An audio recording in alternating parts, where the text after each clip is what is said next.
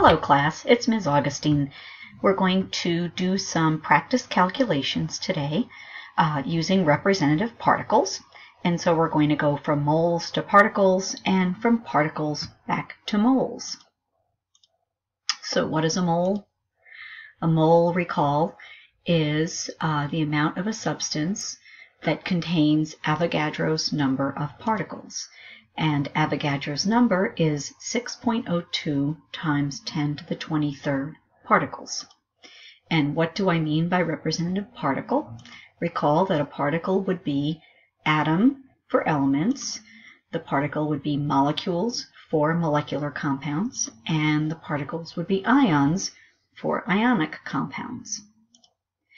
So looking at our mole roadmap, I highlighted here that we're going to be going back and forth between particles and moles. And our conversion is, again, 1 mole equals 6.02 times 10 to the 23rd particles, or pieces. So the first calculation will be going from moles to particles. Given 2.50 moles of oxygen, how many molecules does this represent? Our conversion fact, 1 mole of oxygen has 6.02 times 10 to the 23rd molecules of oxygen. So to calculate the number of moles of oxygen, starting with our given like we always do, given 2.50 moles of oxygen times our conversion fact, and right here is our conversion fact. I like to point out that since we started with moles of oxygen, our conversion fact has to have the unit that we want on top, molecules, and the unit that we're getting rid of, moles, in the denominator. That way it cancels out. So let's go ahead and cancel out moles of oxygen divided by moles of oxygen goes away. When we plug it into our calculator, we get this number, 1.505 times 10 to the 24th molecules. Looking back at our given, our given had three significant digits.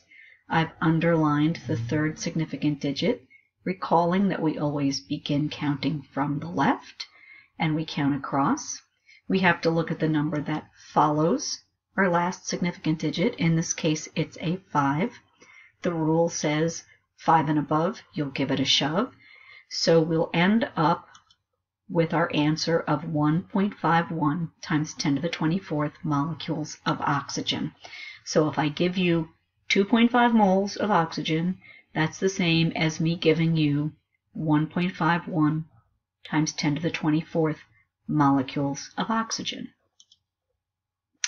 So we first went from moles to particles, now we're going to go from particles to moles. Particles to mole calculation. Given 3.2 times 10 to the 23rd molecules of oxygen, how many moles does that represent? Recalling 1 mole again is 6.02 times 10 to the 23rd particles. So in order to calculate the number of moles, we're going to always start with our given.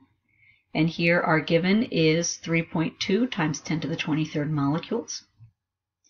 Our conversion fact here, again, has what we want, moles of oxygen in the numerator, what we're getting rid of, molecules in the denominator. Let's cancel out our units molecules of oxygen divided by molecules of oxygen cancels out. It equals 1. When we plug it into our calculator, we're going to get this number right here, 0.5315 moles of oxygen. Looking at the number we were given, it only has two significant digits, so I've underlined the second significant digit. We always have to look at the number immediately following our last significant digit. It's a 1. What that means then is that we let it go, five and be- four and below, you let it go. So then our answer in this case is going to be 0.53 moles of oxygen. So again, if you are given 3.2 times 10 to the 23rd molecules of oxygen, we know that what you've actually been given is 0.53 or slightly better than half a mole of oxygen. That's all for today. Hope this helped.